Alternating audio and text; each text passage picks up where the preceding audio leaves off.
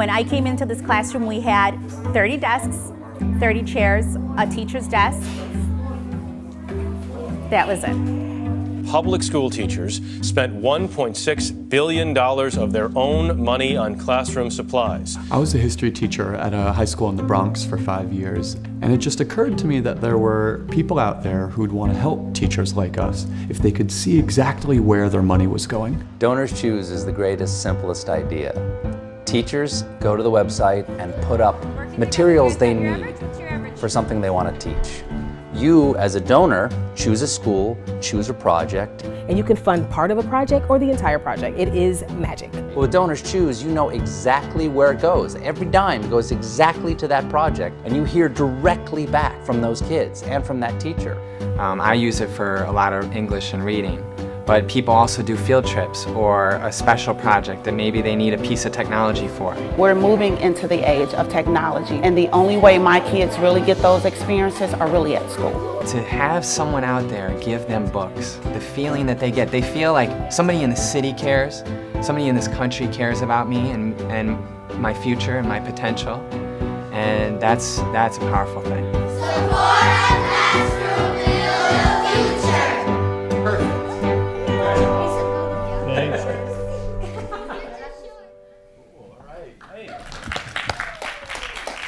Thanks so much for, for choosing this session. I'm really excited to be here and to uh, share our story with you. I give you a preview already, so I'm going to jump straight in and ask each of you a question. Raise your hand if you had a teacher in high school who you look back on as having really shaped who you are. Who had a teacher like that in high school? Okay, awesome virtually, every, I think almost everybody here. Um, I had a teacher like that as well. Here he is. His name was Mr. Buxton. He was my English teacher and my wrestling coach. And when I showed up as a dorky freshman in high school, Mr. Buxton uh, spoke to me like he would to any adult. If he approved or disapproved of something I'd done, I knew it right away because he didn't have that mask that some grown ups have when they're talking to kids. If I asked him a question on Wednesday, he'd come back to me on Friday saying that he'd thought about it and he really had. He made you feel like he wanted you on his team. And looking back on it, I think it was Mr. Buxton who made me want to be a teacher. So, uh, 18 years ago, I started teaching history at Wings Academy, a public high school in the Bronx.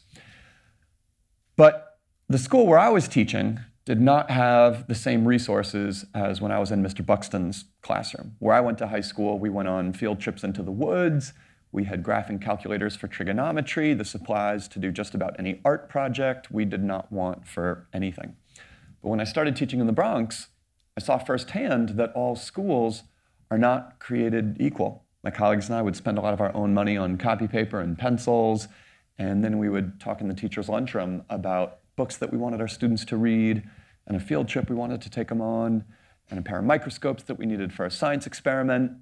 And none of these ideas would go beyond the teacher's lunchroom because there was no, no place for us to go to tell the world about the needs of our students and our ideas for making the subject matter fun. And we, we had no place to get the kind of micro funding we needed uh, for these ideas we were coming up with. And it just occurred to me that there might be people out in the world who'd want to help teachers like us and students like ours if they could see exactly where their money was going. So I used pencil and paper. I wasn't a, a techie, so I, I used pencil and paper, and I drew out this website where public school teachers could create classroom project requests and donors could choose a project that they wanted to support.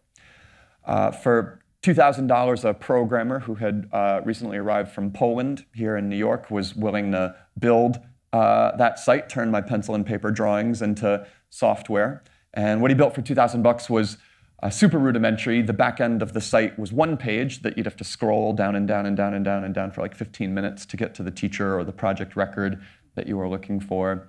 To process a donation, I had one of those uh, black boxes that you see at the grocery store where if they can't um, swipe your credit card, they type in the credit card number and the dollar amount, send it over a telephone line.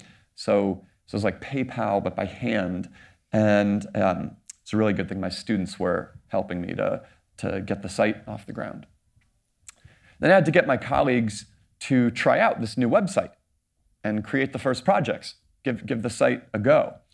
Now, I don't know how it is at your own workplaces, but at the high school where I was teaching in the Bronx, if you wanted teachers to do something, you gave them free food.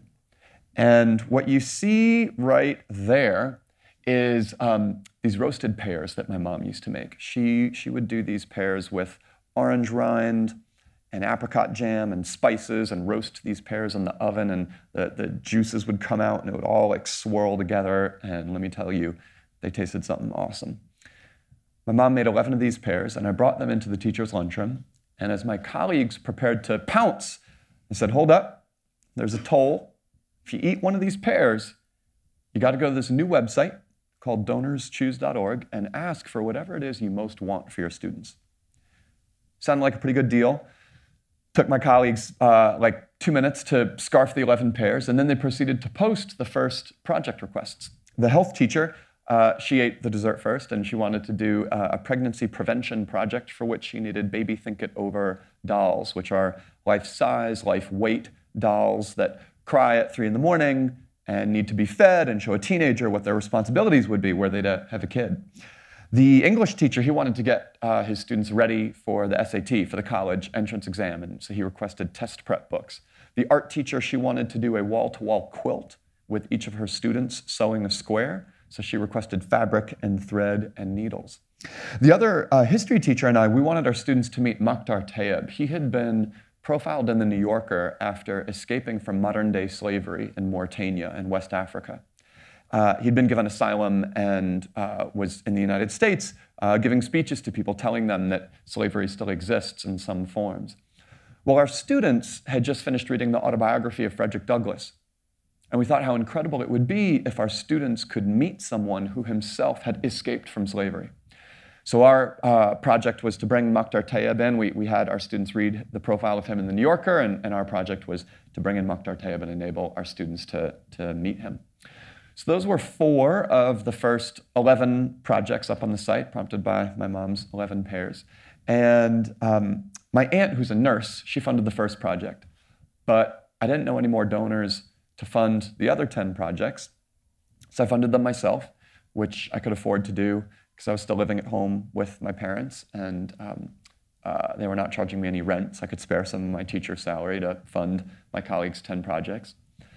And because I donated anonymously, my colleagues mistakenly thought that the website actually worked. And that there were all these donors on the site just like waiting to fulfill teachers' classroom dreams. That rumor uh, spread across the Bronx, and teachers started posting hundreds and hundreds of projects, projects that needed a whole lot more money than what I could afford by living at home with my parents. And is in a really tough spot, not knowing how I was going to get these projects funded. My students came to the rescue. Uh, they could see the potential of this experiment to change their lives at school. And uh, I think they also felt bad for me. So um, they, they, they volunteered after school every day for about three months to spread word to potential donors. They addressed and compiled 2,000 letters by hand to people all over the country, telling them about this website where someone with $10 could be a classroom hero. We sorted the mail ourselves to get the cheapest postal rate, and so every desk in my classroom represented a different part of the country, piled high with envelopes. And then we carted the sorted letters to the post office and crossed our fingers. It worked. My students' letter writing campaign generated $30,000 in donations to classroom projects on our site. We were off. Another year went by. More teachers in the Bronx created projects. Donors funded some of them. And then 9 11 happened. And teachers at the schools beside Ground Zero started creating projects on our site to recover from the attacks on the World Trade Center. As a math teacher whose students' calculators were sealed at the disaster site, their classroom had been relocated to a basement, and she was requesting a new set of calculators.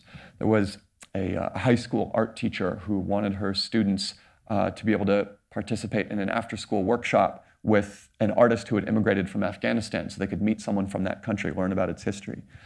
There was a first grade teacher whose students, uh, she, she, was right by ground zero, and, and her students had been saved by a particular group of firemen. And her first graders wanted to thank the firemen who had saved them by doing a musical performance in front of their fire ladder company, for which they needed musical instruments.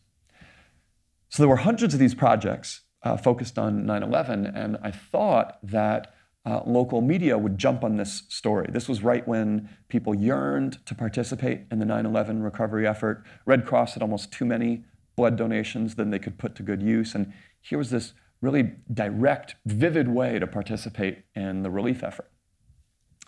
But no reporter would give me the time of day. I think I must have called, must have called like 100 of them with no luck. So I figured I better aim higher. Holy Grail was the New York Times. They had a new reporter covering nonprofits and philanthropy. Her name was Stephanie Strom. And I figured if we could get Ms. Strom at the New York Times to do a story about our experiment of a website, we'd have a shot at big time impact. So I put together a package of materials. I mailed them off to Ms. Strom at the Times. I didn't hear back. Um, so I called her up a few weeks later, and she was nice, but she said that um, she said that we were not, not exactly newsworthy. She said, uh, you know, if ever I'm, I'm doing a, a, listing of online charities, which at the time was still a new concept, uh, maybe I could put you on that list, but I'm afraid, afraid this is kind of small potatoes. Damn. So then I found a directory of the top people at Newsweek, and I called the senior editor there, Jonathan Alter. I called him first because his last name began with A, so he showed up first in the alphabetical directory.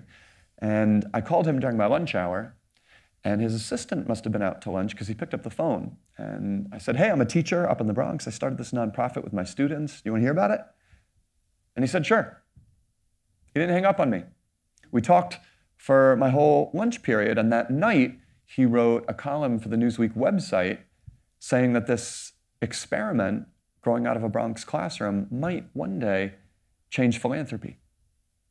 So then I called up Ms. Strom at the New York Times, all excited, and I was like, hey, Newsweek saw us as newsworthy, at least for their website, so won't you give us a second look? And then she dashed my hopes. She said, I wouldn't touch your story with a 10 foot pole now that another reporter has covered you. New York Times does not follow in the footsteps of other publications. Felt like an idiot for having told her that another media outlet had broken our story. So I, I wrote her an email uh, apologizing for being so dumb. And uh, Ms. Strom took pity. She could see how badly I felt. And, and she wrote back and she said, You know, you shouldn't feel quite so bad because you didn't have a chance in the first place. Because her editors had asked her to focus on charities responding to 9 11. So there was my last opening. I crafted this email to Ms. Strom telling her about all the projects that teachers at the public schools beside Ground Zero were creating on our site to, to, to recover from the attacks. I called her up as well. I called her over the weekend, so I would go straight to voicemail and I wouldn't interrupt her while she was on deadline. And I said, This is the last time you'll ever hear from me if you could just read this one final email. So Monday, I was back at school teaching, and uh, I checked my email in between periods. Ms. Strom had written back. She wanted to come do an interview for a major feature story in the New York Times. Let me tell you, my parents raised me to be humble, but it felt like the skies had opened. This was the New York Times. I just had to shout. So I forwarded Miss Strom's email to my friend, and I said, Guess who said she wouldn't touch our story with a 10 foot pole and now wants an interview? That's what hustling will get you. I beat my chest, I talked all kinds of smack. I thought thought that I'd hit forward. But, but I'd hit reply. And the moment I realized I yanked the electrical cord from out of the socket to turn off the computer, but it was too late. I sent that trash talking, guess who said she wouldn't touch our story with a 10 foot pole and now wants an interview email directly to Ms. Strom, philanthropy reporter for the New York Times. So naturally, I sent her another email apologizing for being so dumb. and Ms. Strom, uh, to her eternal credit and mercy, uh, took pity on me. Uh, she went on to write a feature story for the New York Times, um, say, arguing, suggesting that donorschoose.org might be the future of philanthropy. And since that time, we, have been trying uh, to earn Ms. Strom's uh, mercy, try, trying to, to, prove her right. Um, As of today, the, these numbers actually uh, need to be updated because we've now crossed the half billion dollar mark in terms of the dollars given to uh, classroom projects on our site. It's more than 70% of all the public schools in America who've got at least one teacher who's created a project request on our site. And there are millions and millions of students from low income families who've now got books, art supplies, field trips, butterfly cocoons, class visitors, the, the kinds of materials and experiences that really bring learning to life. My students and I never uh, dreamed that uh, we'd be able to cite figures like this, and we certainly never dreamed that crowdfunding would become a movement. When DonorsChoose.org began, crowdfunding was years and years away from, from being a word.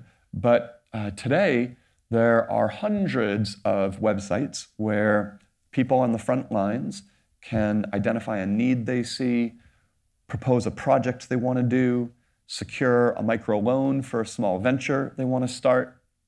And then anyone, no matter the size of their wallet, can be a, a patron, a financier, uh, a philanthropist. A, a wager that uh, within the next five to 10 years, uh, at least a couple percentage points of our GDP will be from crowd-funded projects and ventures. I think, I think the movement will continue to grow.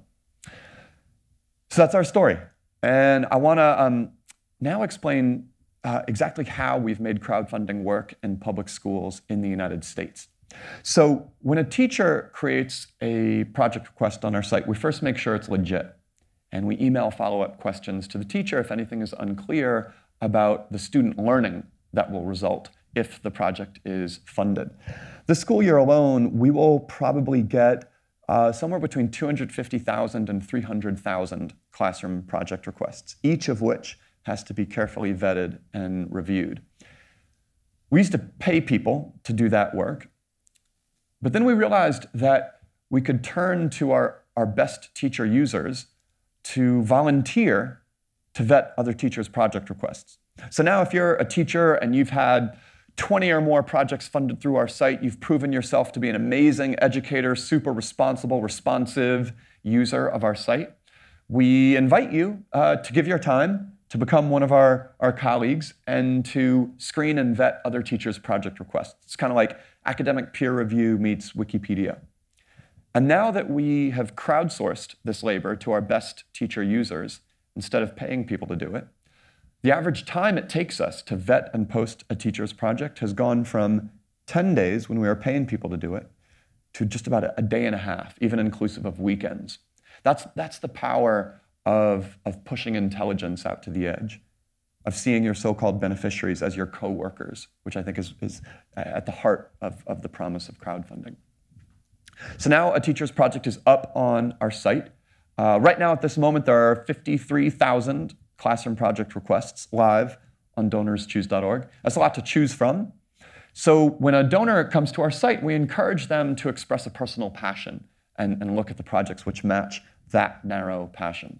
Example of this is uh, a few years ago, uh, a writer for Fortune magazine was doing a story on Kiva and donorschoose.org as the two websites that they thought might, might democratize philanthropy. And uh, when I was done talking with the writer, uh, um, he seemed decently impressed by our site, but he said that his personal passion was saving the salmon in the Pacific Northwest, which was kind of a nice way for him to say that um, education wasn't his top cause and he probably wouldn't be donating on our website, much as, much as he enjoyed the interview.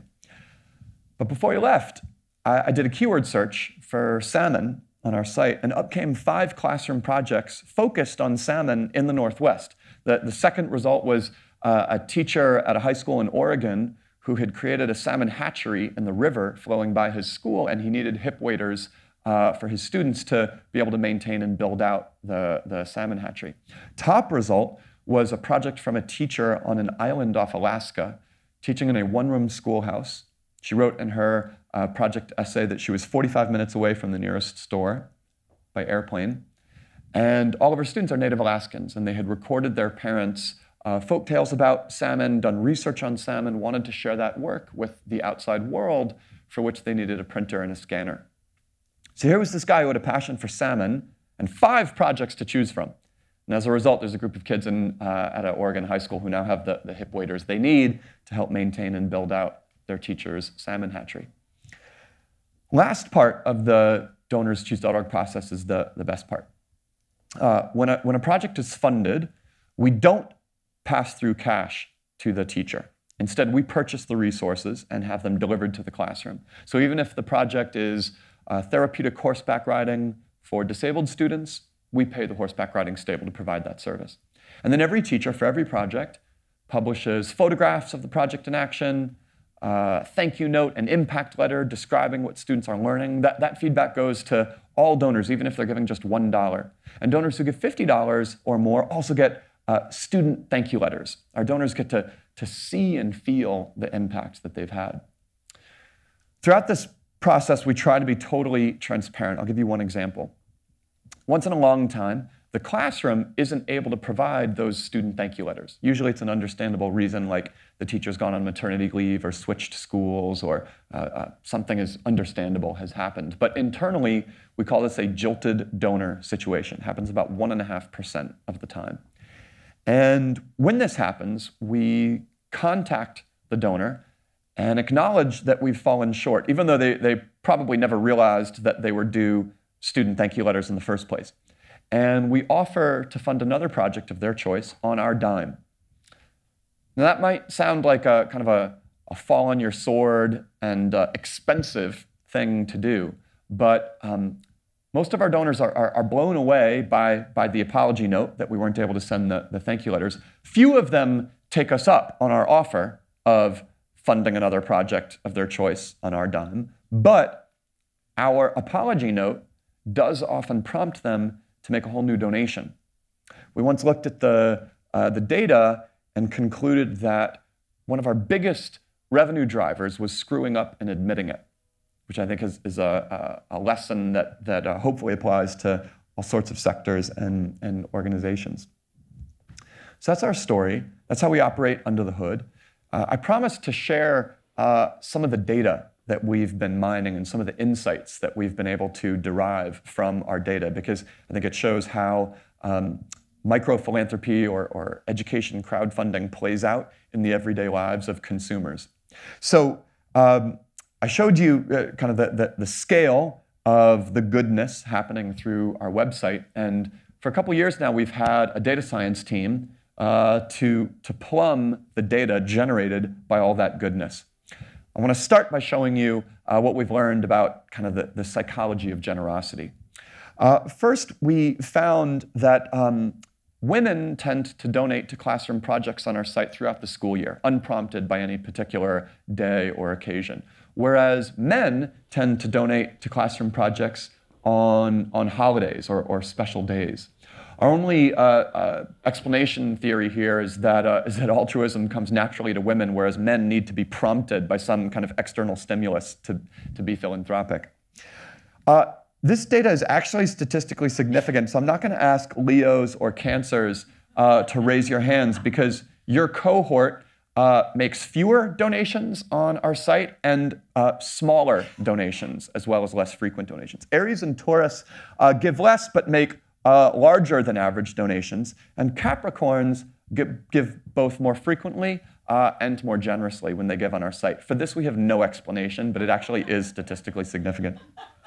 Um, this is the final, uh, the, the, third um, sort of consumer giving uh, uh, test or, or, set of data I want to share with you. So, um, two years ago, we have an open office, and, and I overheard our CFO telling a colleague about a book he had just read by this guy, Adam Alter, who's a, a business school professor uh, at NYU. And um, Adam Alter had been citing research that people are more likely to donate to hurricane relief if the first letter of the hurricane is the same first letter as their own name. And, he, and this effect was apparently so pronounced that they were able to calculate that the US Meteorological Survey has left half a billion dollars of hurricane relief giving on the table by not optimizing the names of hurricanes to have common first letters if they're going to be especially severe, and hurricane relief giving will be especially necessary. So it's just like overhearing uh, this study and, and got up and, and my colleagues and I uh, started talking because we are like, what does that mean for us? We've got two and a half million supporters, we've got half a million teachers, we could match them up based on not just first letter, but even a name match. What could we do with that? And we decided to run a test on Valentine's Day. We came up with three poems, and we randomly assigned donors to get one of these three poems.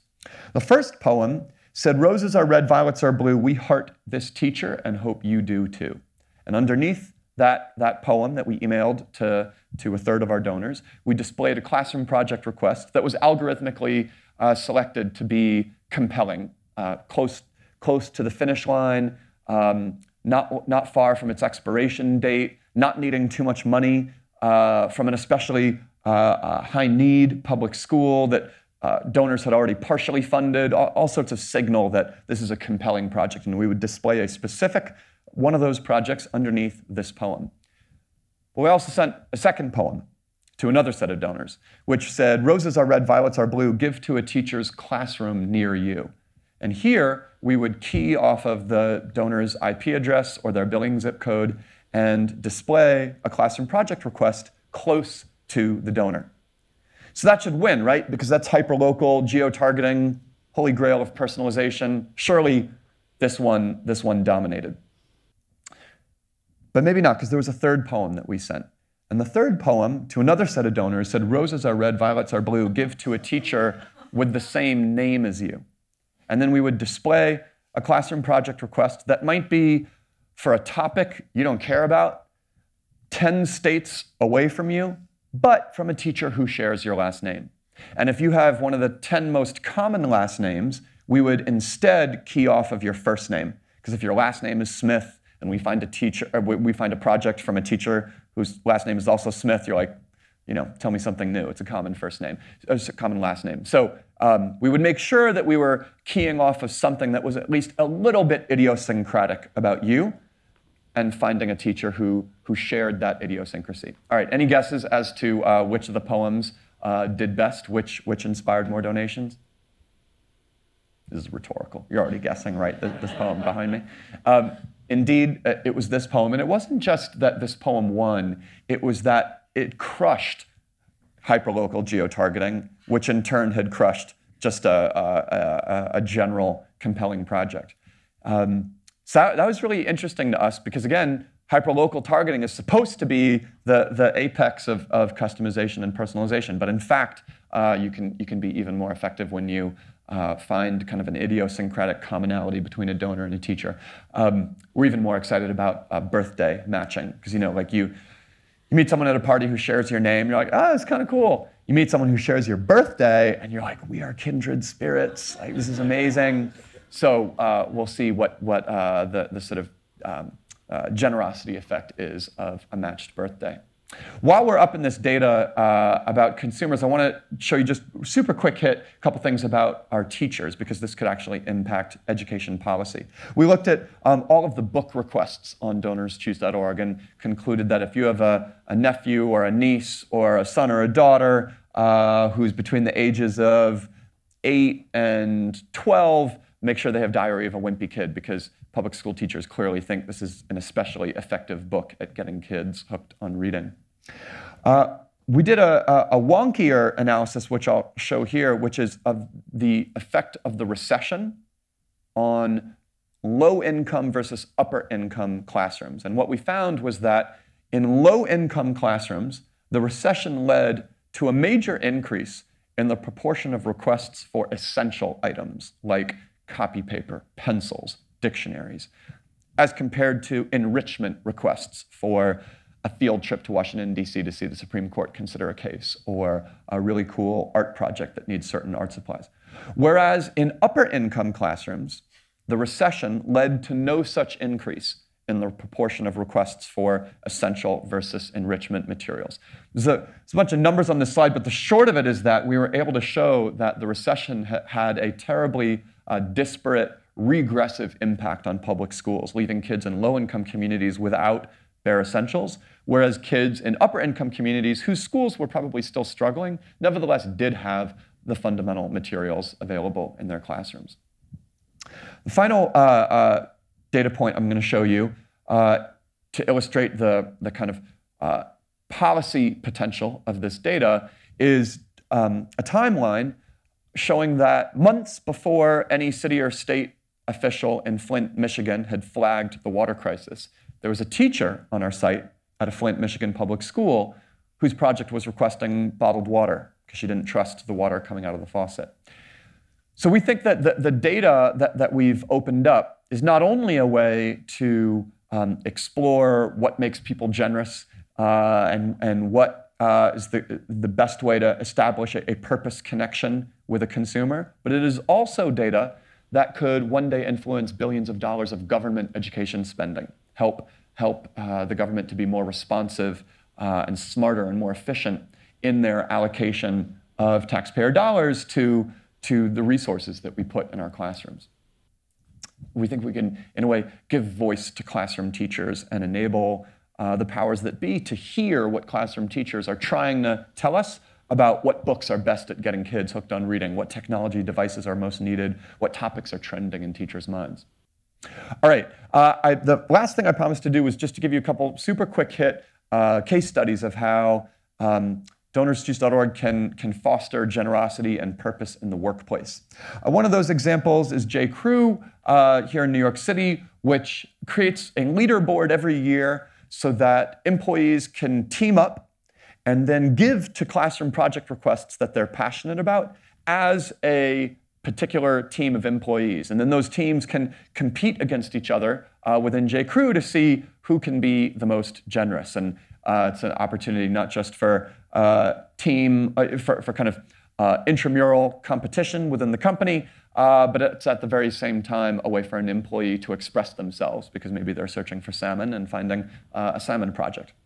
The other example I'll give you is of Pinterest. Um, they did a distribution of Donors Choose gift cards to their employees. Uh, a Donors Choose gift card is what Stephen Colbert gives to every guest of his on The Late Show. It's a, it's a gift of giving that enables the recipient uh, to support a classroom project of their choice without having to open up their own wallet.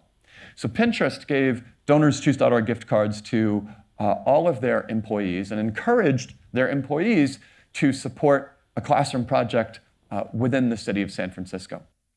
And what employees didn't know was that Pinterest had underwritten enough DonorsChoose.org gift cards for Pinterest employees to complete the funding on every single San Francisco elementary school project on the site.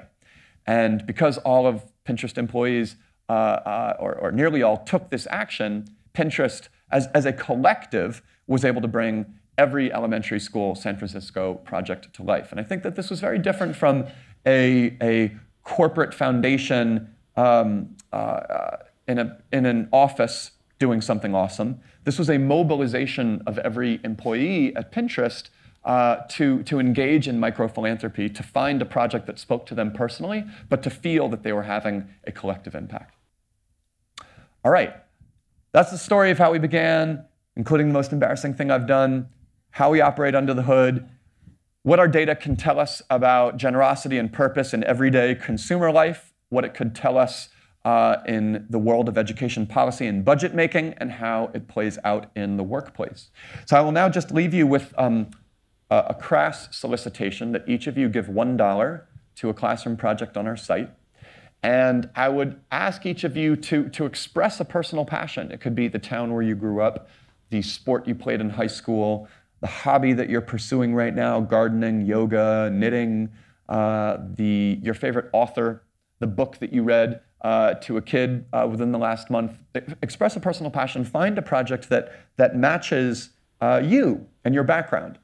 And then when you're uh, going through checkout on this $1 donation, tell the teacher and students why you chose their project. We encourage every donor to, to leave a message to the classroom because we think that DonorsChoose.org is not just a place where um, donations are transacted, but where relationships are forged. And, and as you're doing this, I hope you'll appreciate what you and a passionate teacher can accomplish together when no one stands between you. Thank you for your time. That's our story.